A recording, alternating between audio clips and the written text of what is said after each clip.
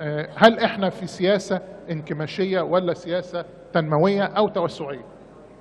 إحنا في سياسة تنموية وتوسعية مع تحقيق الضبط المالي، لكن هيجي الاستاذ علاء السبع هيقول لي الله ده سعر الفايده ارتفع وأنت حطيت ضرايب هقول لك على مهلك عليا بس. الحكاية ما بتتاخدش قفش كده. الموضوع وما فيه إن إحنا بنتجه نحو. تحقيق نمو اقتصادي مرتفع. لكن عندي مشكلة اقتصادية جوهرية فاندمنتال تمنع أي نمو مستقبلي. وهي عجز الموازنة العامة والقدرة على خدمة الدين بشكل مستدام. فكان لازم بنمشي مع كل شيء. لما أجي أقول لك إن عندي عجز في الموازنة العامة لازال يتحقق عند 10% ده مش ممكن تكون سياسه انكماشيه في أي تعريف من التعريفات الاقتصادية. ع- ما أقول لك سي- سياسه انكماشيه يبقى أنا ببقى بقترب من عجز بنسبة 0% أو إن أنا بأمل لتحقيق فائض.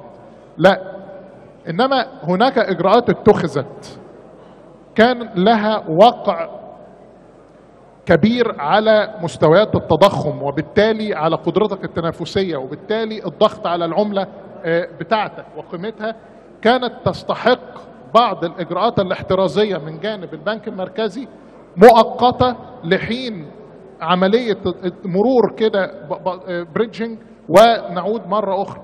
بالنسبة للسياسة المالية السياسة المالية حجم الاستثمارات الممولة من عجز الموازنة العامة ويدعمها مشروعات مطروحة في ال triple P حجم هذه المشروعات اللي في الموازنة العامة ممولة بالعجز 50 مليار جنيه انطلاقا من 35 مليار جنيه في الموازنة السابقة.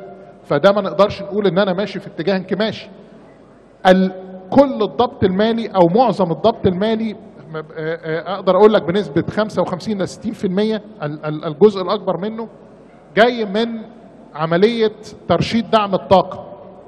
ودعم الطاقة في مسألة ترشيده لا يتعارض مع النمو الاقتصادي بل بالعكس أنت هتبدأ إنك أنت تؤتي برؤوس الأموال وتوضع في أماكنها أو في مواطنها الصحيحة بناء على دراسات اقتصادية جدوى اقتصادية حقيقية مش إنك أنت تحصل تركز لرأس المال في قطاعات كثيفة استخدام الطاقة وأنت عندك عجز في الطاقة.